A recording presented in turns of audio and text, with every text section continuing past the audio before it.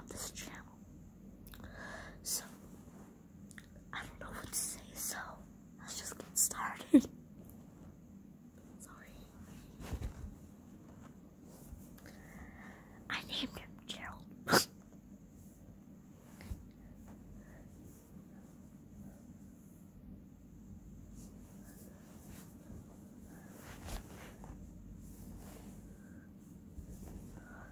I'll just be